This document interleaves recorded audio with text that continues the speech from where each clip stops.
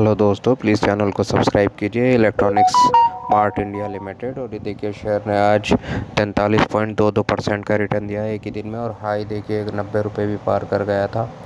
और आज ये लिस्टेड हुआ है, तिरासी रुपये सत्तर पैसे पर बंद हुआ है। अस्सी रुपये से स्टार्ट होकर के और बहुत ही ज़बरदस्त रिटर्न दिया है। लेकिन इसके अंदर सेलिंग ऑर्डर्स बहुत ज़्यादा लगे हुए हैं।